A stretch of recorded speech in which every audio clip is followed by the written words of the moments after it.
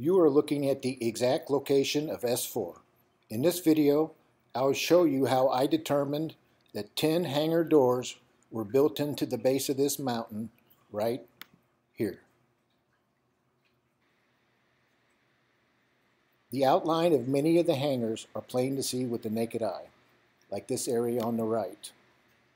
Look at this ridge through here and these vertical lines. Bob Lazar had this picture made this illustration of S4. I wanted to show how it blended in with the side of the mountain. Look for straight, parallel vertical lines across the front. Straight, parallel vertical lines. If we go over here, look, straight, parallel, vertical lines. Listen to Bob Lazar describe the exact location of S4. From Area 51, I was bused to an even more highly secure facility located about 15 miles south of Area 51 called S4. S4 is situated at the base of the Papoose Mountains by the Papoose Dry Lake bed. Lazar said S4 was 15 miles south of Area 51. Here's Area 51, north to the top, south to the bottom. Here's a legend in miles, almost 7 miles from here to here. So 15 miles south of Area 51, if you drove around this mountain, would put S4 somewhere around here, according to Lazar. He said it was nine hangars were built into the base of the Papoose Mountains, which is right here, by the dry lake bed, Papoose dry lake bed, which is right here. So that should put S4 right around here, according to Lazar. Now I searched this mountain, and those hangars are right through here. But the secret to seeing those hangars is to view it from this direction over here. Get low to the ground and view it from this direction. But first, let's listen to Bob Lazar describe what we should be looking for. The S4 installation is built into the mountain and the nine hangar doors are angled at about 60 degrees. These doors are covered with a sand-textured coating to blend in with the side of the mountain and the desert floor. So this is what we're looking for. A row of straight, parallel, vertical lines across the base of the mountain. Okay, now that we know what to look for, let's see if we can find these hangars. The hangars are right through here, but let's go to this area in here to view it. We want to get fairly low to the ground, look toward the northeast, mountain should come into view here. There it is, straight ahead.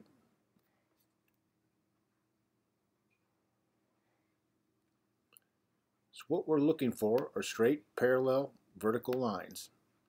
This is the mountain we're talking about. I'll let you look first, see if you can find them. Right through this area, straight, parallel, vertical lines.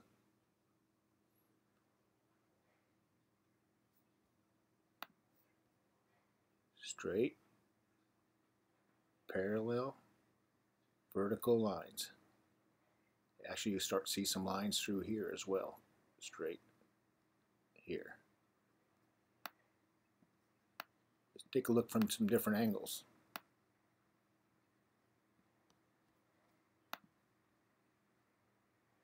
Straight, parallel, vertical lines.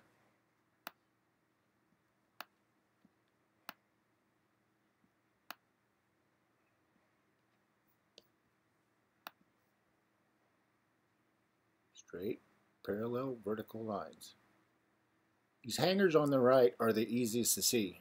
In fact, if it wasn't for those hangars being so plain to see, I would have never found this location because these hangars stretch around to the side like this. You start to see some other straight lines over here, but we'll get into that later. For now, I'd like for you to just concentrate on this area on the far right, these hangars on the far right.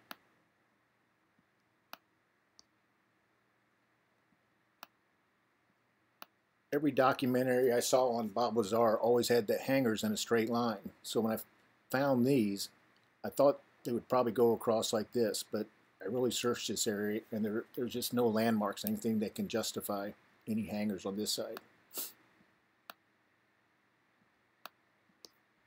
When I looked over here, we have these straight lines, you start to see some other lines through here.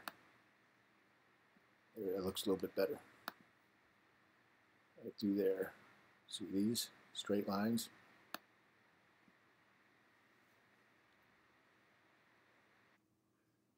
As I was trying to figure out the outline of the hangars, there was this line right through here that always seemed to interfere with the lines of, of the hangars. These all go in a certain direction, all parallel, but this one runs at a different angle and it's so prominent.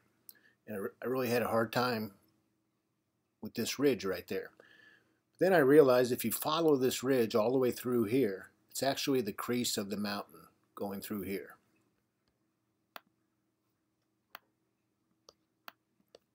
Just take a look underneath the line. You'll see that there's a crease that runs right through there. So when you see this line through here that's not at the correct angle, it's not part of the hangars. So try to ignore that. Of course, there is the other side here.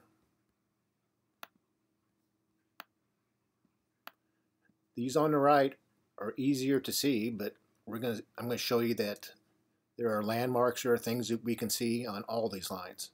So what I'd like to do now is justify all these different lines, all these different hangar doors. Listen to Bob Lazar describe how well the hangars blend into the side of the mountain. It's extremely well camouflaged. Years later, Lazar will have a graphic artist create detailed renderings based on his own drawings of what he claims he saw at S4.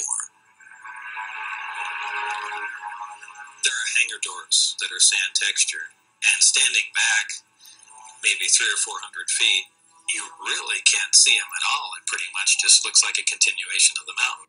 So don't expect it to be easy to see the hangars. They were designed to be hidden. Going to have to look real close. Let's start with the three hangars on the right side. These hangars are easier to see usually the higher in elevation you go. I'm talking about these straight lines right there, right there, right there, right there. See, the higher you go, these, this one on the right gets even more pronounced right through there. It's more distinctive the higher up you go. So I'm going to justify these four lines on the right side. And here's that, that line that goes sideways through the mountain, the crease right through there. But I believe we can say for sure that here are four straight lines. So I'm going to justify them.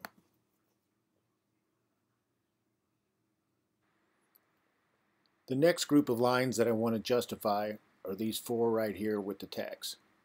This one on the left side is probably the best of them all, so we can justify that. You see a pretty good line right there, as well as here. You'll notice there's a little bit of a white bump about halfway down most of these hangars, right there and there. But you want to try to take a look at them from different angles. But again, I see a line here. And I realize it is supposed to be difficult to see. It's supposed to be hidden, so don't expect it to be obvious. But if you look at this enough from different angles, you'll see that there is definitely a line growing through all these. So I am going to go ahead and justify those.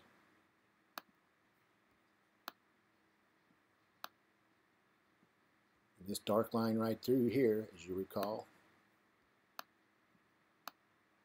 is that crease going through the mountain.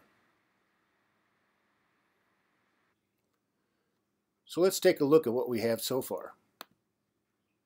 We have a row of straight parallel vertical lines.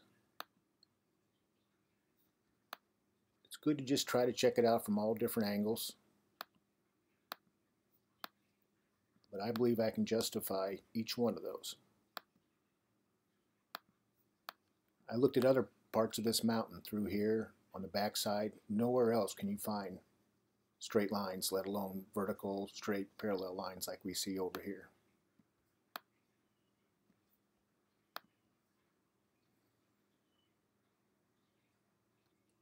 When it gets down to the remaining lines and hangars, I can't say that I for sure see a line through here. I've looked at it many angles. I want to say that I can, but I can't really say that. I'm going to go ahead and put tacks on it, but not put the orange line. And then over here, we get down to, Lazar said there were nine hangars. I think there's 10. For there to be nine, because these are really good lines right here and right here. For it to be nine hangars, we'd have to have one in the middle, and these hangars would just be too large compared to the other ones. I think the best bet is that there's two more hangars there.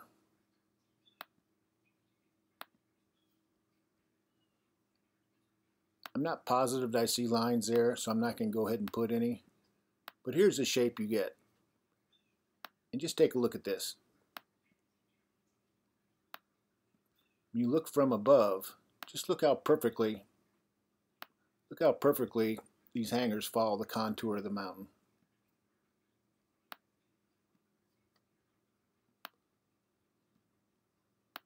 And I can justify all those lines that you see right there. And again, look how perfectly it follows the contour of the mountain. In November of 2014, I posted two videos on YouTube titled Lazar Was Right, Part 1 and Part 2. In those videos, I used this thumbtack placement for the outline of the hangar doors. Since then, I have reevaluated. I now think the correct placement for the thumbtacks is right here.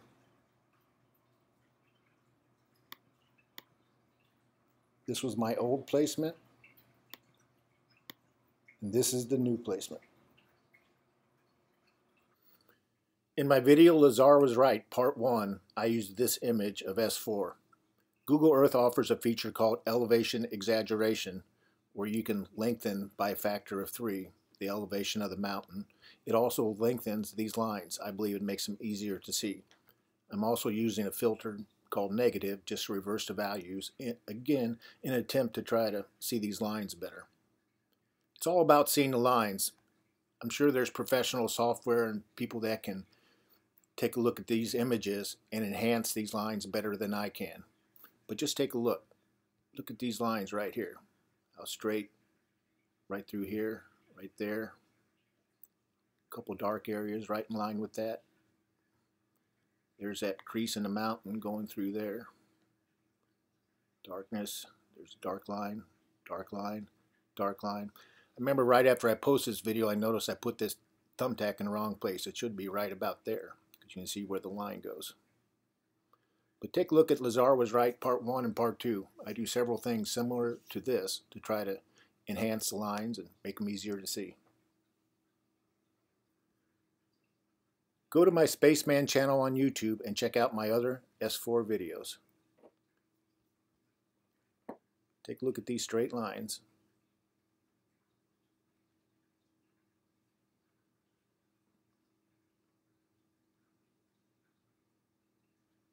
Thanks for watching.